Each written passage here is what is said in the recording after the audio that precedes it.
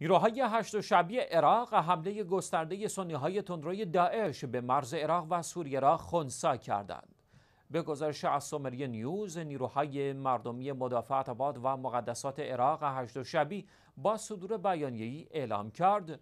عناصر باقی مانده از تروریست های داعش قصد حمله گسترده و خشن به مرز عراق و سوریه را داشتند که با واکنش نیروهای تیپ اول هشت شبی مواجه شدند.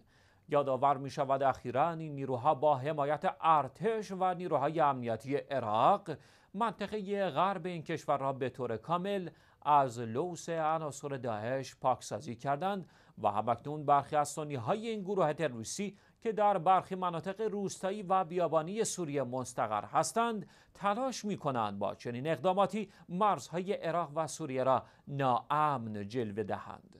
پیش از این حیدر العبادی نخست وزیر عراق نیز پاکسازی کامل عراق از وجود داعش را اعلام کرده و گفته بود که این گروه تروریستی دیگر پایگاهی نظامی در عراق ندارد.